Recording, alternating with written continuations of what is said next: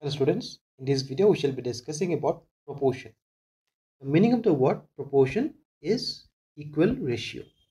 So proportion means equal ratios. So if we take two equal ratios, suppose A by B is one ratio and C by D is another ratio and they are equal.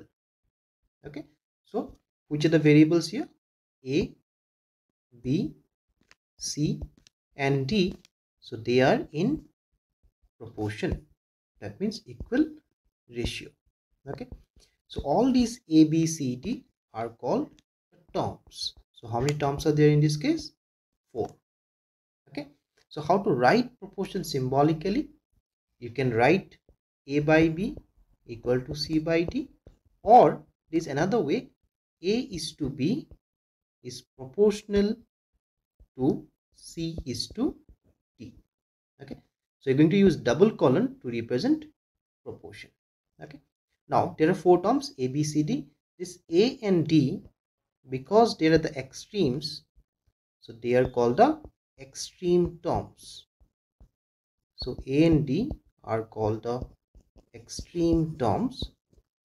B and C, because they are the middle, are called the middle terms. So B and C are your middle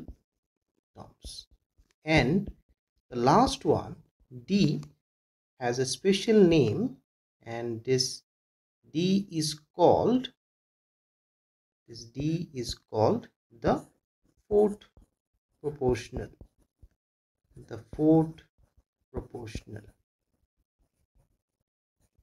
Okay?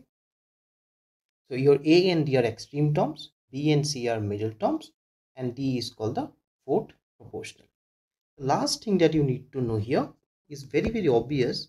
So if you have a by b equal to c by d that is a b c and d in proportion. So if we cross multiply obviously we have ad equal to bc all right so these are the things that you need to know about proportion. In the next video we shall be discussing about continued proportion